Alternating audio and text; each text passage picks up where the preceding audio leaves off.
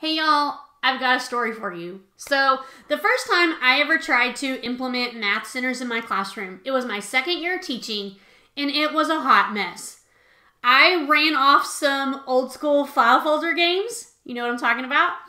And I just kind of placed them in random spots around my room, and I said, okay, this kid, this kid, and this kid, they're gonna go play this game. And then this group of kids, they're gonna go play this game. And I thought that that would work and I would just pull kids to the small group table and teach a lesson. Do you think that that worked? No, it did. It absolutely did not. It was such a hot mess. My there was chaos everywhere. It was loud. Kids were all over the place, and I quickly became frustrated. And over time, I learned that if I wanted to continue teaching math centers or math, I call them stations. So if I wanted to continue math stations in my classroom, then I needed to come up with some simple routines and procedures to put into place so that that time during the day would run smoothly. And so that's what I'm going to share with you today is I have five simple routines and procedures for implementing guided math into your classroom. So let's dive in and get started.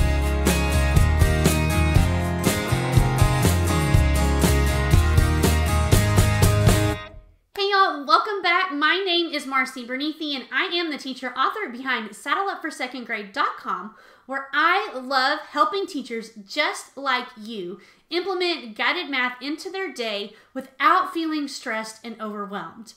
And stress and overwhelm, that's exactly what I felt when I first tried stations or centers, whatever you want to call them, when I first tried it for the very first time. So um, this was almost 10 years ago, and so then the term guided math wasn't really a thing. So then I just called it my math station time.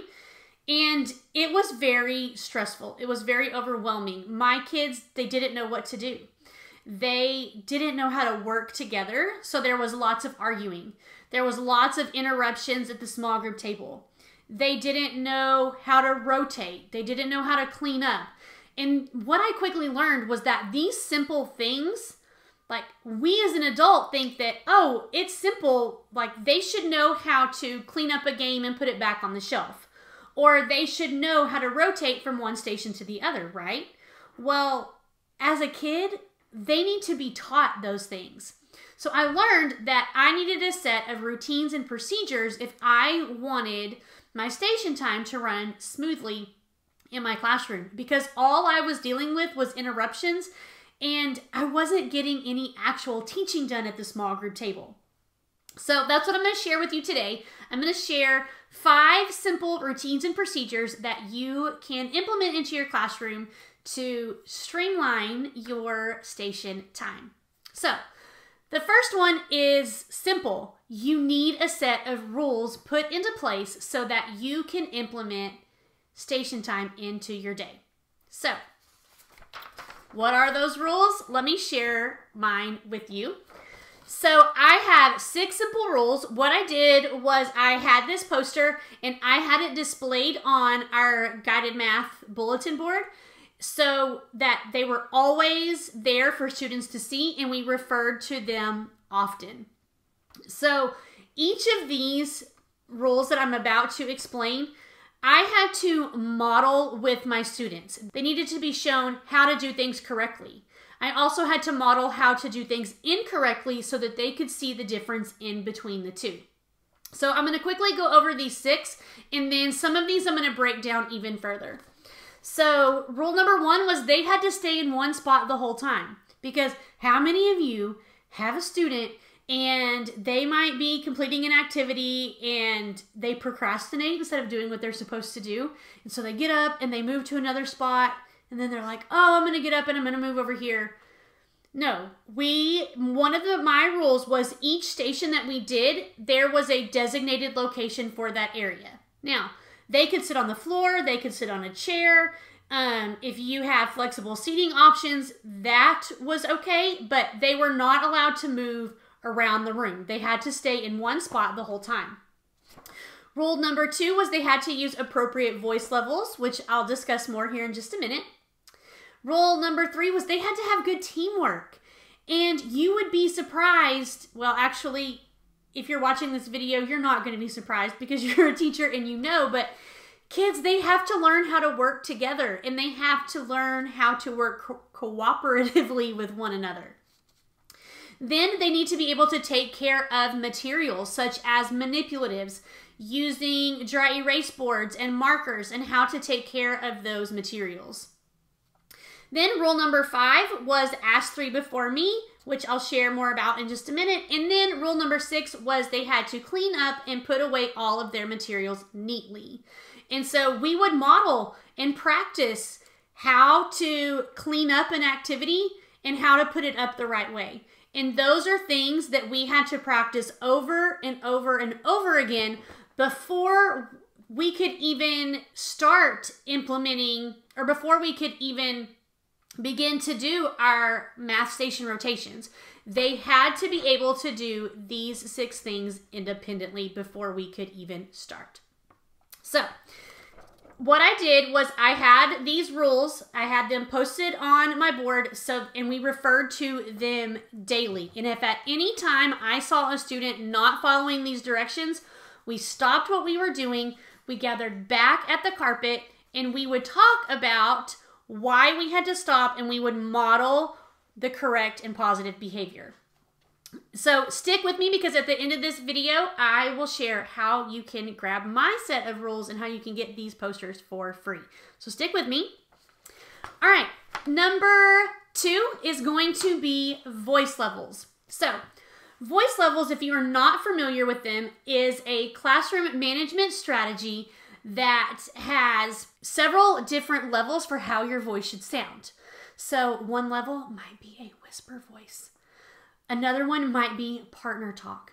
Another might be teamwork or group work.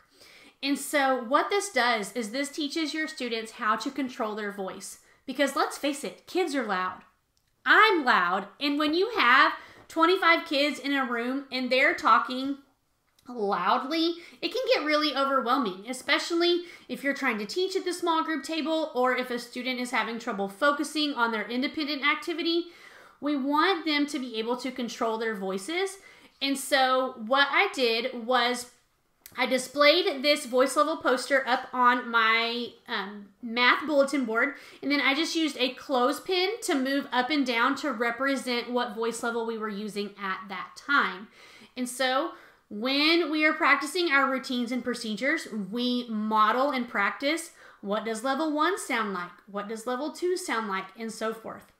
Then I also printed these posters really small um, and where they would fit in a five by seven plastic picture frame. I got these at the local dollar store and then I kept these at my table groups.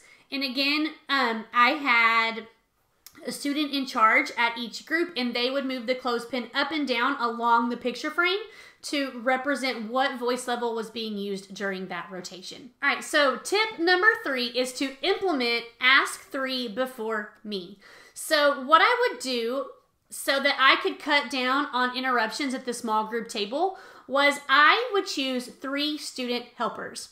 These three students that I would pick are they are going to be students that are responsible. You know that they can follow the rules. And these three students are going to be able to explain or answer a question that another student might have. So these are going to be kids that can read the directions of an activity and be able to explain it to another student. And so the reason why I implemented this strategy was because I would have so many interruptions at the small group table from kids coming up to me and they would be tapping me on the shoulder saying, Miss Bernethy, Miss Bernethy, I don't know what to do. And I was dealing with so many of those things that I wasn't actually getting any teaching done at my at my small group time. And so by implementing Ask 3 before me and having these three student helpers was if a student had a question, maybe they didn't understand something or they just needed help, they had to go ask these three students before they could come ask me a question at the small group table. And this helped cut down on student in interruptions tremendously. All right, and tip number four also goes along with minimizing student interruptions. And that is to have early finisher activities because, again, you're always going to have those kids that can zip through whatever activity they might be doing. And so they'll come up to you and they'll say, Miss Bernethy, like, I'm done now. What am I supposed to do? So I had an I'm done now what board. And honestly, uh, this is just a blank poster. I put it inside a plastic um, sheet protector and I had this up on my bulletin board as well. And so because of this, I can use a dry erase marker and I can write what early finisher activity I want them to complete. You want your early finisher activities to be open-ended. And typically, I like to pick something that wasn't a lot of prep. And I honestly would just let them explore with manipulatives. Like give them allow them to play with geoboards or explore with pattern blocks or linking cubes. And so a lot of time I would just give them an activity that they could do with manipulative exploration and that would be their early finisher activity. But I always had something for early finishers so that they were not coming up and interrupting me at the teacher table.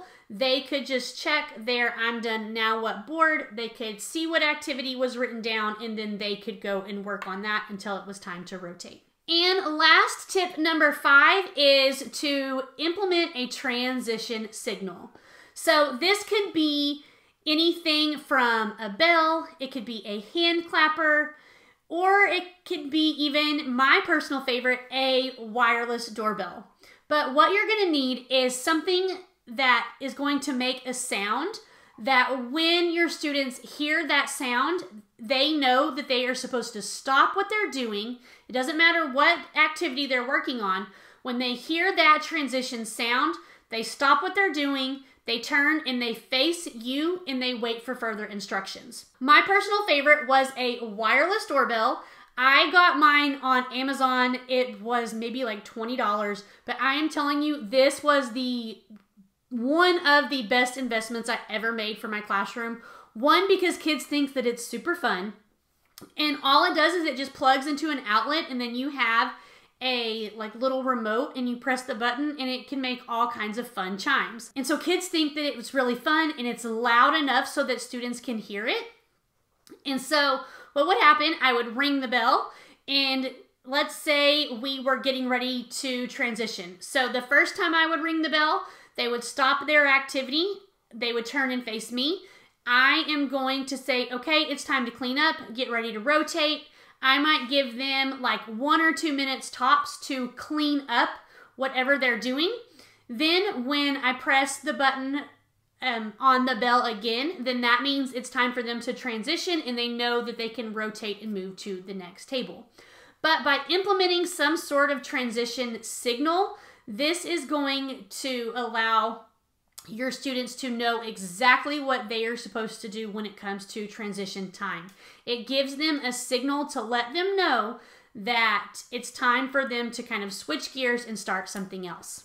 So there you have it. Those are five simple routines and procedures that you can implement right away to get started with guided math. Now, I promised I would share. If you are interested in any of these posters that I just shared with you, these are a free download in my TPT store. So I'm gonna link the description below in this video. Click on that link and head on over and you can download these posters for free and start using them in your classroom right away. As always, if you have any questions, leave me a comment below. Don't forget to hit that subscribe button and I will see you guys in the next video. Bye.